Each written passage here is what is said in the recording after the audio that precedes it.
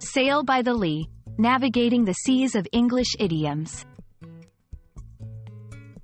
Hello everyone. Today, we're diving into the fascinating world of English idioms, and our focus is on the phrase, sail by the lee.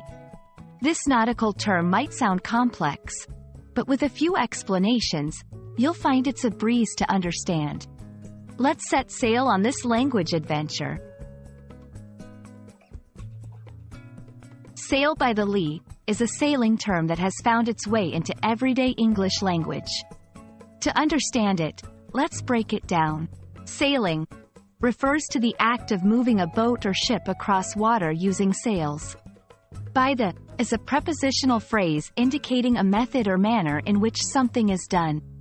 Lee refers to the side of a ship that is sheltered from the wind.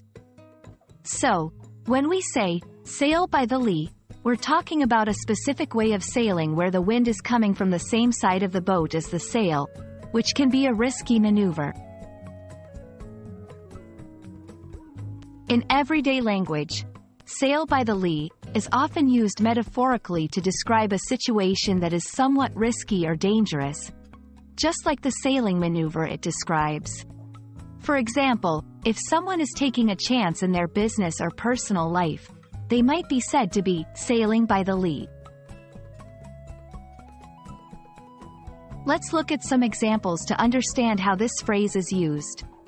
1. Taking that loan was really sailing by the lee, but it paid off for them in the end. 2. She knew that confronting her boss was like sailing by the lee, but she felt it was necessary.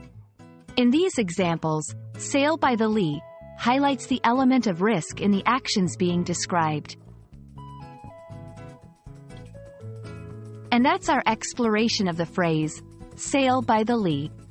I hope this video has helped demystify this interesting idiom and added a new expression to your English vocabulary.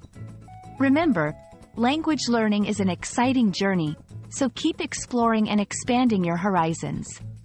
Thanks for watching, and see you in the next video.